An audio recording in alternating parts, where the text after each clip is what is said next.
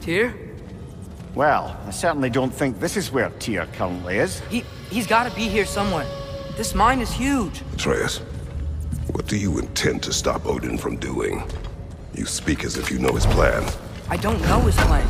That's why we're... Ahem, Brothers, with Fimbulwinter underway and Ragnarok around the corner, Odin will be desperate.